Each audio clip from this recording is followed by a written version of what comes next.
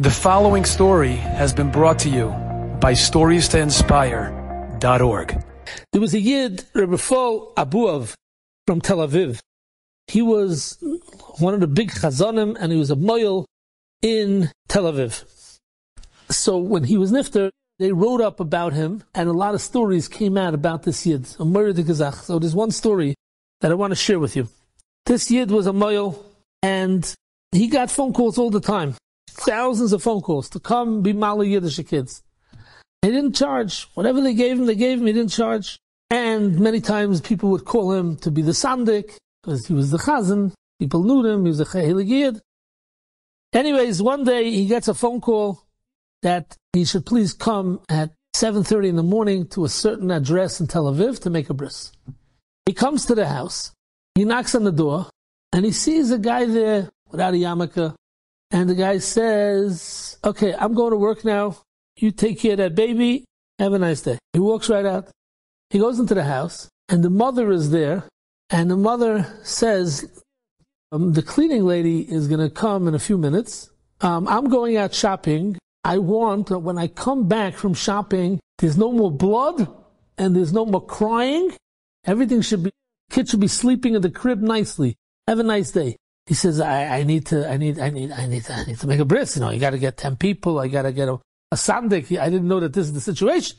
I thought we are going to be a regular bris. He says, sorry, you got about an hour and a half. I'll be back. I want everything perfect. Okay. He goes outside. He tries to find a minyan. There's no minyan. So what does he do?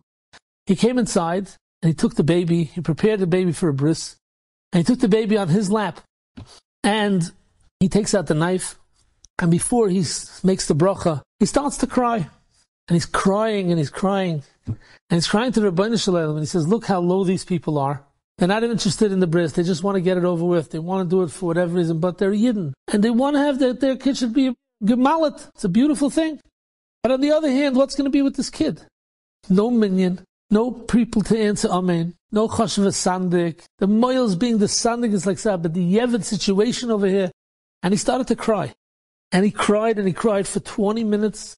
And he begged HaKadosh Baruch Hu that the Rebbeinu should help, that this kid should taka get siyata deshmaya and din the Rebbeinu Shem and Geveg, even though he's growing up in such a house. He made the bris and he bandaged up the baby and the baby wouldn't stop crying. And he held the baby and he shaked the baby nicely, you know, in a rhythm to try to get it to go to sleep. Finally, finally, finally, the kid got to, went to sleep.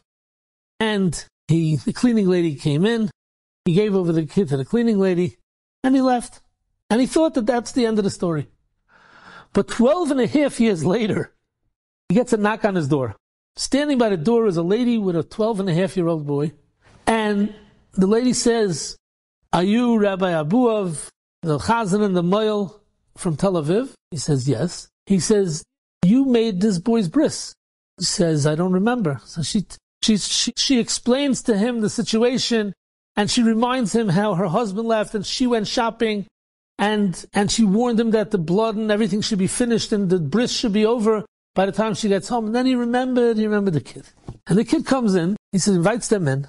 And the mother says, I want to tell you something. We don't know what's going on with this kid. This kid loves to learn.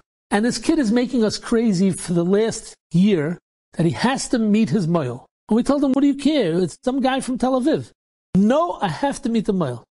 And he's crying and he's driving us bananas. And finally, my, my husband said, just take him to the moil. And then we had to do research to find out who the moil was and who we got. And finally, we tracked you down. We got your address. We came to your house. And the boy wants to talk to you.